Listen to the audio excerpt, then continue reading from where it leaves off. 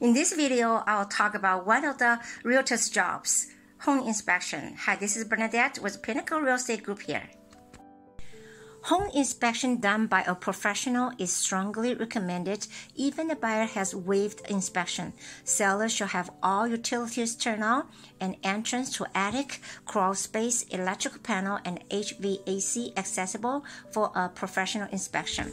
A realtor, either representing seller or buyer, not a professional inspector, has to complete a visual inspection report required by California Association of Realtors. A realtor reports what he or she observes. There are two parts of inspection inside the house and outside the house. Now, watch how I do the inspection. Inside the house, I take notes on any room full of clutter that obstructs inspection.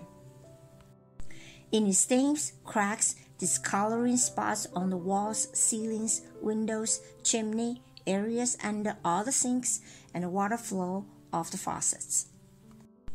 All the windows and doors are in operational condition, peeling paint.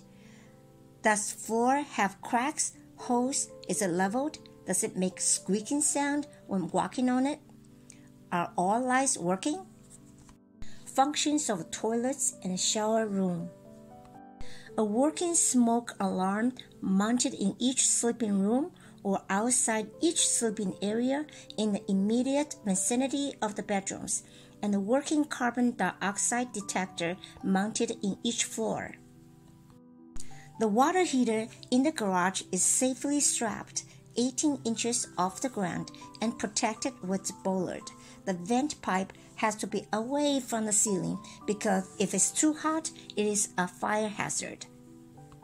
Any strange smell and audible noises are detected. Next, outside the house, I check the roof condition viewed from across the street, any solar panels installed. Cracks and wet spots, stain or discoloring spots on outside walls and driveway. If the lot has a slope, does the soil slope toward or away from the house?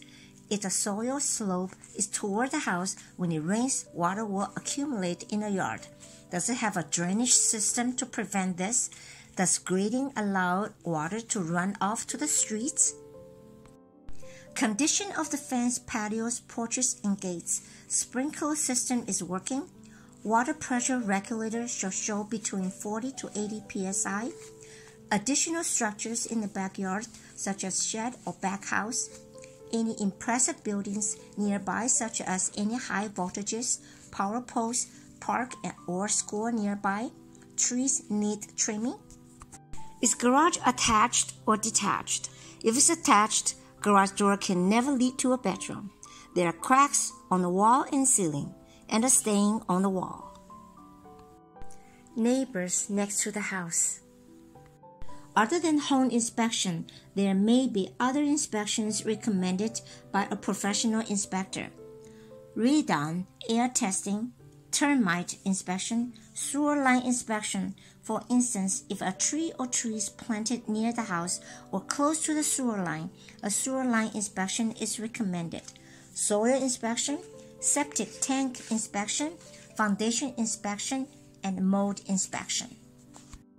Every house is different. The inspection varies accordingly. I take inspection seriously.